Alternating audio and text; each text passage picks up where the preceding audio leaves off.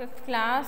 आज आपकी किसी रीज़न की वजह से आपकी जूम क्लास नहीं कर पाई, लेकिन आप लोगों का जूम का रिस्पांस बहुत ही बेकार आ रहा है। समझ आई कोई भी बच्चा, एक दो को छोड़ के नहीं, फोर्थ क्लास का आज किसी ने भी जूम की मीटिंग ज्वाइन नहीं की है, ठीक है?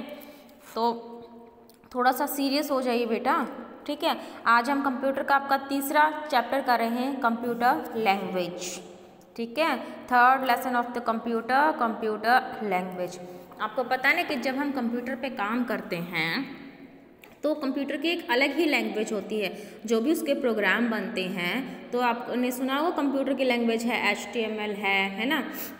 D H T M L है तो कंप्यूटर की एक अलग ही लैंग्वेज होती है, जिससे उसके प्रोग्राम जो भी प्रोग्राम बनाते हैं, जो कंप्यूटर में हमारे प्रोग्राम फ़ीड होते हैं, हम उसमें डेटा डालते हैं, उन सब के लिए एक अलग ही लैंग्वेज होती है, ठीक है? तो आपका है सबसे पहले programming language a programming language is a formally constructed language design to instruct a computer this is done so that it follows our command given through various input device जो भी कंप्यूटर की जो लैंग्वेज होती है, ये किसके लिए बनाई जाती है? कंप्यूटर को इंस्ट्रक्ट करने के लिए, यानी कि कंप्यूटर को इंस्ट्रक्शंस देने के लिए कंप्यूटर में डेटा आउट डालने के लिए लैंग्वेज बनाई जाती है है ना? कि कंप्यूटर जो भी हम, हमारा डिज़ायरेबल काम है, जो भी हम काम करना चाहते हैं, वो कर पाएँ, है ना? तो इसलिए कंप्यूटर की लैंग्वेज बनाई जाती है। कंप्यूटर की लैंग्वेज कह सकते हैं आप या फिर उसका प्रोग्राम कह सकते हैं कंप्यूटर का। और इसी लैंग्वेज के के के कारण, इसी लैंग्वेज के थ्रू जो कंप्यूटर है, वो हमारे कमांड्स है ना हम एक्सेप्ट करता है। और ये जो कमांड है जो हम देते हैं ये अलग अलग डिवाइस के थ्रू देते हैं ना कीबोर्ड के थ्रू डालते हैं है ना? कीबोर्ड के थ्रू भी डालते हैं माउस के थ्रू भी हम कमांड देते हैं। तो जो हम लैंग्वेज है, है अपनी जो कमांड हम कंप्यूटर को देंगे काम करने के लिए हम उसको अलग अलग डिवाइस इनपुट डिवाइस से डालते हैं। Computer language is the mean by which instructions and data are transmitted to the computer We can also say that computer language are the interface between computer and human being. It is a set of words, symbol and codes that are used to write a computer program. जो computer का program है जो computer की language है ये क्या है जो कंप्यूटर की लैंग्वेज जो है उसको कंप्यूटर में ट्रांसमिट करते हैं ना कंप्यूटर का डाटा है, उसको क्या करते हैं कंप्यूटर में ट्रांसमिट करते हैं इंस्ट्रक्शंस देते हैं कंप्यूटर को इस लैंग्वेज के द्वारा। और लैंग्वेज है क्या? ये ह्यूमन बींग जो हम मानव हैं और कंप्यूटर के बीच का एक इंटरफेस है, एक माध्यम है कि जो हम कंप्यूटर से करवाना चाहते हैं, वो हम कैसे करवाएँ? इस लैंग्वेज के थ्रू हम जो भी कंप्यूटर को कमांड देना चाहते हैं, जो भी डेटा फ़ीड करना चाहते हैं, वो हम कर पाते हैं। तो एक बीच का उनका मीडियम है, एक है ना? तो और कंप्यूटर लैंग्वेज क्या है? Set of words symbols and code जो कंप्यूटर की लैंग्वेज है, ये एक नॉर्मल लैंग्वेज ना होके इसमें क्या है? वर्ड्स होते हैं सिंबल्स होते हैं कोड्स होते हैं, है ना? और इन्हीं वर्ड्स कोड से ही उसका प्रोग्राम लिखा जाता है कंप्यूटर का। तो process of writing a program is called programming the people who write these programs are called programmer generally the computer language can be divided into two groups अब जो computer के लिए प्रोग्राम बनाएगा, उसको हम क्या बोलेंगे? प्रोग्रामर बोलेंगे, है ना? उसको क्या बोलेंगे? प्रोग्रामर और वो जो प्रोग्रामर है, जो कंप्यूटर के लिए लैंग्वेज बनाएगा, उसको बोलेंगे उसकी प्रोग्रामिंग करना, है ना? जो कंप्यूटर की लैंग्वेज है, वो इसको टू ग्रुप्स में डिवाइड किया गया है. Low level language and high level language ठीक है? एक तो लो लेवल होती है और एक हाई लेवल होती है। देखो, आपके बुक में शो भी किया गया है चार्ट कि कंप्यूटर की लैंग्वेज रेड बॉक्स में शो की गई है। आगे नेक्स्ट को इसको टू पार्ट्स में डिवाइड किया गया है। Low level and high level then low level को फिर से अगेन टू उसमें पार्ट्स में डिवाइड किया गया है। Machine language and assembly language ठीक है? और हाई लेवल को सिर्फ़ एक ही में third generation language fourth generation language and natural language ठीक है? इसके बाद हमारा जो आगे वाला है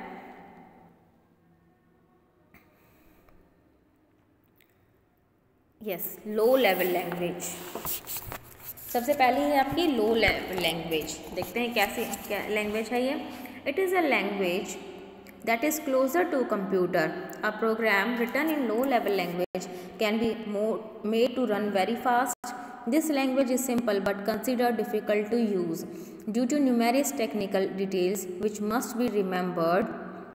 Low level programming language is further divided into two categories machine language and assembly language. हाँ जी जो low level language है आपकी क्या है कि कंप्यूटर के बहुत क्लोज है ठीक है और क्या है कि जो भी इसके अंदर प्रोग्राम लिखे जाते हैं जो भी प्रोग्राम डेवलप किए जाते हैं कंप्यूटर की इस लो लेवल लैंग्वेज में, एक तो वो जल्दी चलते हैं रन वेरी फास्ट फटाफट काम करना शुरू करेंगे, ठीक है?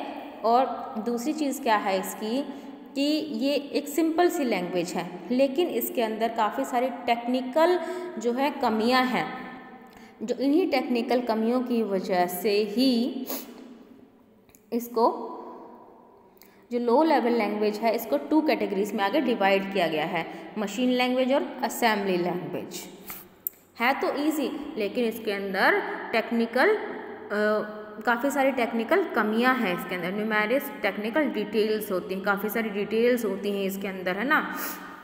कमियाँ भी होती हैं और डिटेल्स भी होती है जिनको रीड करना इजी नहीं है। तो पहली है आपकी मशीन लैंग्वेज और दूसरी है असेंबली लैंग्वेज जो पहली है machine language is the only language understood by a computer it is also known as first generation computer जो मशीन लैंग्वेज है, इसको computer is the only language understand by computer computer ही इस level language को समझ सकता है है ना?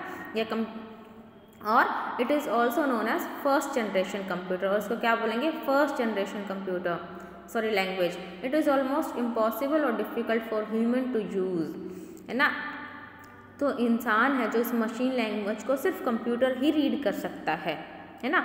जो ह्यूमन बींग है इसको यूज़ नहीं कर सकते because it consist entirely of two digit इसमें केवल टू ही डिजिट होते हैं zero and o sorry zero and one called binary digits और बिट्स ज़ीरो और वन ही टू डिजिट होते हैं ना इसके अंदर, इसीलिए जो ह्यूमन बींग है वो इसको यूज़ नहीं कर सकते, इसको अंडरस्टैंड नहीं कर पाते, केवल कंप्यूटर ही इसको अंडरस्टैंड कर सकता है। दूसरा है इसका एडवांटेज ऑफ़ मशीन लैंग्वेज कि अब ये तो बता दें कि मशीन लैंग्वेज क्या है। अब देखते हैं इसके एडवांटेजेस क्या हैं। The program of machine language runs very fast as it is directly understood by the computer एक तो ये फटाफट काम करता है और फटाफट काम क्यों करते हैं? क्योंकि इसको कंप्यूटर इसको आसानी से समझ सकता है। ठीक है? दूसरा, और डायरेक्टली इसको समझ सकता है ना? There is no need to use a translator for machine language अब इस मशीन लैंग्वेज के लिए कंप्यूटर में जब हम इस मशीन लैंग्वेज को डालेंगे तो उसको अपने आप वो रीड कर लेगा। किसी और ट्रांसलेटर की या कोई, किसी और मोड ऑफ़ ट्रांसलेट की ज़रूरत होती नहीं है। तो दूसरी है disadvantage of machine language it is very difficult to write a program in machine language because its code like zero and one are difficult to remember and understand अब इसकी कमियाँ क्या क्या हैं? इसके ड्रॉबैक्स क्या हैं? कि एक तो ये, अब तक तो ये था कि इसके एडवांटेज थी कि बहुत जल्दी फास्ट इसमें प्रोग्राम डेवलप होता है काम करता है, ठीक है रन करता है। लेकिन क्या है कि जो उसका ज़ीरो और जो वन का जो सिस्टम है, ये इस लैंग्वेज को थोड़ा सा डिफ़िकल्ट बना देता है रिमेंबर करने के लिए और अंडरस्टैंड करने के लिए।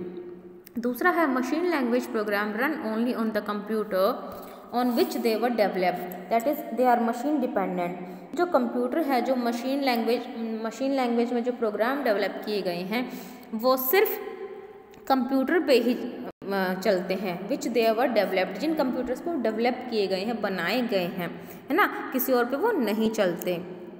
They are machine dependent it is difficult to find an error in a program suppose अगर किसी प्रोग्राम में कोई गल, गलती हो जाती है तो it is not easy to find a error हम ईजीली उस एरर को नहीं ढूंढ पाते हैं या उसको फिगर आउट नहीं कर पाते हैं।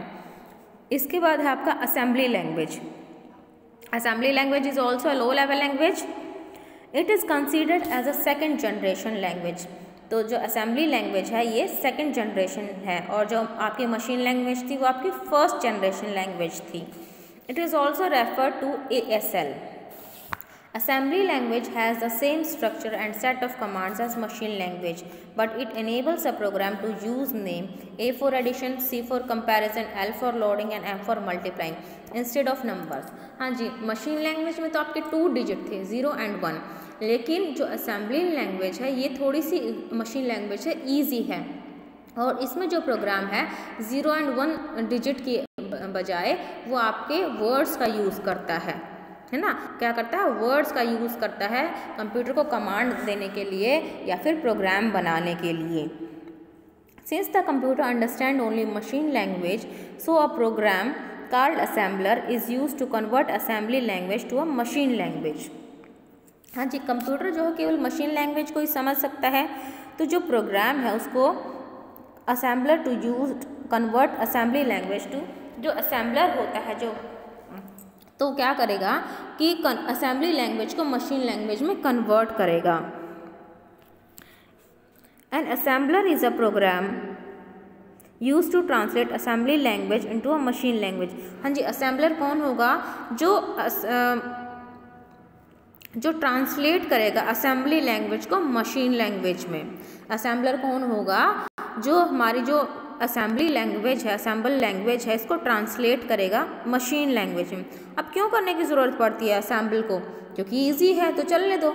क्योंकि जो कंप्यूटर है, वो सिर्फ़ और सिर्फ़ मशीन लैंग्वेज को ही समझ पाता है, उसी के अकॉर्डिंग वो काम करेगा, है ना? और मशीन लैंग्वेज में वो ज़्यादा फास्ट भी काम करेगा। इसीलिए ज़रूरत होती है कि असेंबल लैंग्वेज को असेंबली लैंग्वेज को मशीन लैंग्वेज में कन्वर्ट करने की। हाँ जी, इसके बाद है, आपका नेक्स्ट पेज है एडवांटेज ऑफ़ असेंबली लैंग्वेज अभी हमने मशीन लैंग्वेज के एडवांटेज डिसएडवांटेज किए थे, अब है असेंबली लैंग्वेज के. Program written in assembly language are easier to use as compare to machine language simple सी बात है कि जब ये प्रोग्राम इतना मतलब ईजी है असेंबली लैंग्वेज इतनी कि इसमें हम वर्ड्स का यूज़ कर सकते हैं, जो प्रोग्राम है तो क्या सकता है इट कैन यूज़ ईजिली और उसको अंडरस्टैंड भी कर सकते हैं ना easily easy to locate and correct errors जब हम मशीन लैंग्वेज यूज़ कर रहे थे मशीन लैंग्वेज हमने पढ़ा था क्या उसमें कि इसमें डिफ़िकल्ट होता था ना टू फाइंड एन एरर लेकिन इसमें ऐसा नहीं है। जहाँ पर भी एरर है, वो शो कर देगा, उसको इजीली फाइंड आउट करेंगे, उसको करेक्ट कर देंगे। It can be modified easily because of fewer instruction और इस लैंग्वेज को असेंबली लैंग्वेज से अगर मशीन लैंग्वेज में हम कन्वर्ट कर रहे हैं तो उसको थोड़े बहुत इंस्ट्रक्शंस देंगे और ये ईजिली मॉडिफाई हो जाएगी चेंज हो जाएगी। इसके बाद इसके disadvantage of assembly language it is also machine dependent language ये भी एक मशीन डिपेंडेंट लैंग्वेज है, ठीक है? ये नहीं है कि अलग है। It is not portable because it is machine dependent language हाँ जी, ये पोर्टेबल नहीं है, यानी कि हम इसको अपने साथ कहीं भी मतलब नहीं लेके जा सकते। इजीली हम इसको कैरी नहीं कर सकते, नहीं लेके जा सकते हैं, क्योंकि एक मशीन डिपेंडेंट लैंग्वेज है। It takes a lot of time to code और राइट अ प्रोग्राम और जब असेंबली लैंग्वेज में प्रोग्राम को लिखा जाता है कोडिंग की जाती है तो उसमें बहुत ज़्यादा टाइम भी लगता है। इसके बाद आपका आता है high level language H L L is a programming language that enables a program to write program that are machine independent जो हाई लेवल लैंग्वेज है, इसके प्रोग्राम भी मशीन इंडिपेंडेंट होते हैं, यानी कि मशीन बेस्ड होते हैं.